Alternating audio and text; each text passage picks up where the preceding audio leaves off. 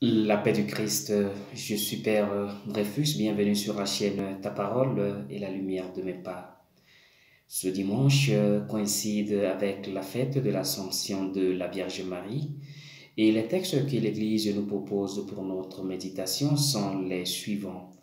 La première lecture est tirée du livre de l'Apocalypse au chapitre 11, les versets 19a, le chapitre 12, les versets 1 jusqu'au verset 6 et les versets 10. La deuxième lecture est tirée de la première lettre de Saint Paul apôtre aux Corinthiens, au chapitre 15, le verset 20 jusqu'au verset 27. L'évangile est tiré de Saint Luc au chapitre 1er, le verset 39 jusqu'au verset 56. Comme annoncé ce dimanche, l'Église célèbre la solennité de l'Assomption de Marie. La Vierge Marie, préservée de toute atteinte de la faute originelle, ayant accompli le cours de sa vie terrestre, fut élevée, corps et âme, à la gloire du ciel et exaltée par le Seigneur comme la reine de l'univers, pour ainsi pour être ainsi plus entièrement conforme à son Fils Jésus. Est le contenu du dogme de l'Assomption de la Vierge Marie, proclamé le 1er novembre 1950 par le pape Pie XII. L'Assomption, c'est la fête de Marie qui entre corps et âme dans la gloire de Dieu auprès de son Fils ressuscité.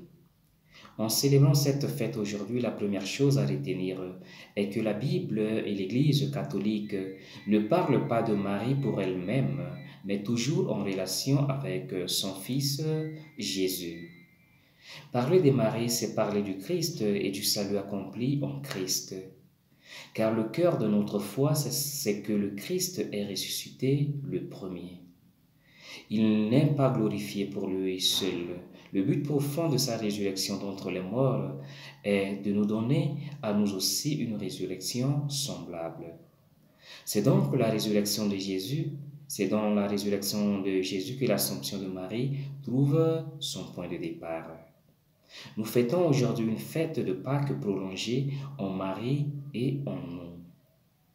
Comme Jésus lui-même n'avait pas connu la corruption dans le tombeau, nous croyons que Marie n'avait pas non plus moisi dans le tombeau. L'Église ne parle pas pour autant de la résurrection de Marie comme celle qu'a vécue le Christ, mais par la grâce de la résurrection de son Fils et en l'honneur de son ascension, Jésus a fait entrer Marie au ciel dès sa mort.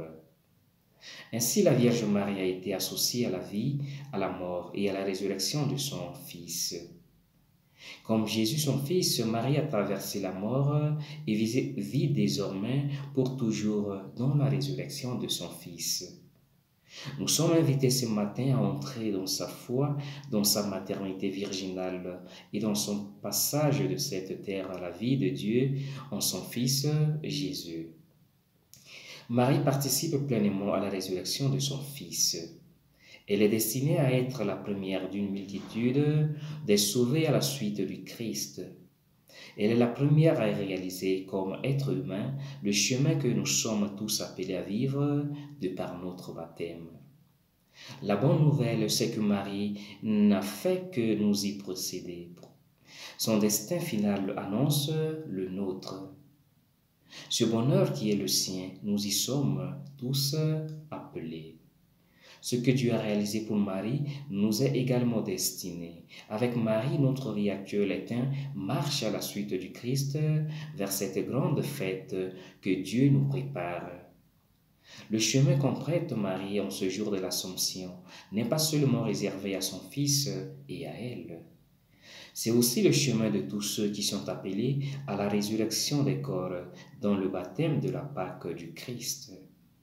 C'est là que nous rejoignons le message de Saint Paul aux chrétiens de Corinthe dans la deuxième lecture. Il insiste sur les conséquences inouïes de la résurrection de Jésus. C'est un événement majeur qui nous concerne tous. Le Christ n'est pas ressuscité pour lui tout seul, mais pour tous. Par sa mort et sa résurrection, il nous a ouvert un passage vers ce monde nouveau, le royaume de Dieu. L'Assomption, c'est Marie qui est élevée jusqu'au ciel après avoir vécu dans sa chair et dans sa vie les épreuves et les joies d'une femme, d'une fille, d'une mère. Mais surtout, l'Assomption de Marie, c'est l'accomplissement ultime de la promesse et de la fidélité de Dieu. Cette fidélité qui s'étend d'âge en âge. Car le Seigneur se penche sur chacun de ceux qui osent lui donner une place. Le Seigneur vient à la rencontre de ceux qui osent lui donner une chance d'être le maître de leur vie. Marie est désormais au ciel, partageons la gloire de Dieu. Pourtant, elle n'est pas absente de notre vie. Dieu nous l'a donnée pour qu'elle soit notre mère et marche à nos côtés. Son abstention ne l'éloigne pas de, de nous. Elle n'est pas indifférente à nos détresses, à nos cris de, de douleur. L'évangile de ces jours nous montre Marie très proche de nous.